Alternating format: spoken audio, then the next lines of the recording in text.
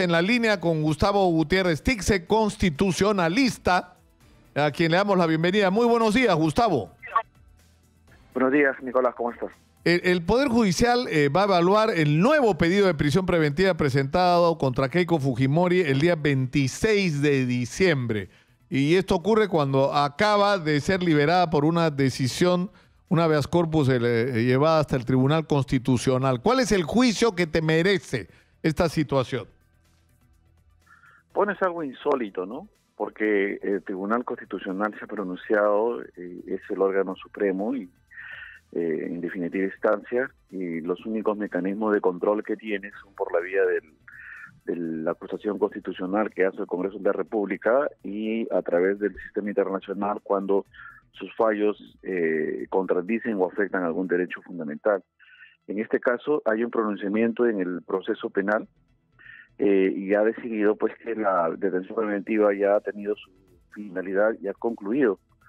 Por lo tanto, eh, la petición en realidad es una forma de eh, desacatar el mandato del Tribunal Constitucional y resulta a mi criterio preocupante porque afecta la, seguridad jurídica y, además operativamente pues eh, resulta doblemente preocupante porque lo que esperamos en todo caso es que la fiscalía acuse, ¿no?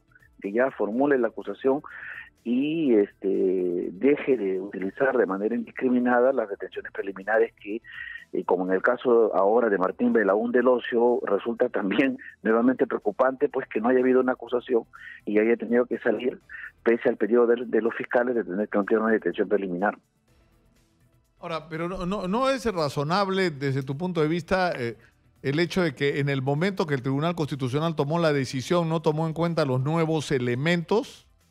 Eh, bueno, la verdad es que tomó en algunos casos, algunos sí, otros no. Es decir, eh, tomó como nuevo elemento que ya no estaba el Congreso y por lo tanto no había un mecanismo desde la perspectiva del Tribunal Constitucional para ejercer presión o, de alguna manera, pero hay un montón de información nueva. Ella misma ha reconocido que recibió dinero eh, que está bajo investigación sobre su origen legal o, no, o los procedimientos legales o no, que se ha reconocido que se recibieron en efectivo. Eh, su esposo Mar Vito ha reconocido que el, procedimiento del, del eh, ¿no es cierto?, de este, del, del, del fraccionamiento, del pitufeo, eh, era un procedimiento que se utilizaba. Es decir, hay elementos, ¿no? Sí, me imagino que, me imagino que sí. O sea, nadie discute la posibilidad de que esto eh, sea elementos para la para la sustanciación de un de una acusación.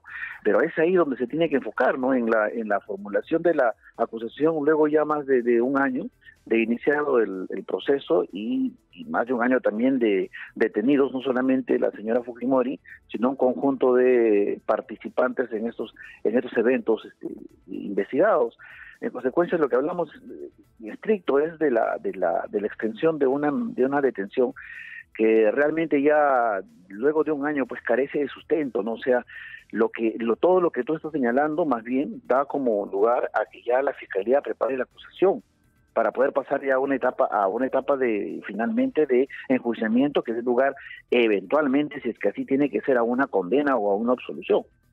Pero el, el tema de la cautelar ya ha sido materia de pronunciamiento del Tribunal Constitucional y lo que podría haber en todo caso aquí son medidas limitativas de menor intensidad como puede ser un impedimento de salida, eh, una prohibición de, poder eh, contactarse o acercarse con personas que estén ligadas a los hechos investigados, etcétera.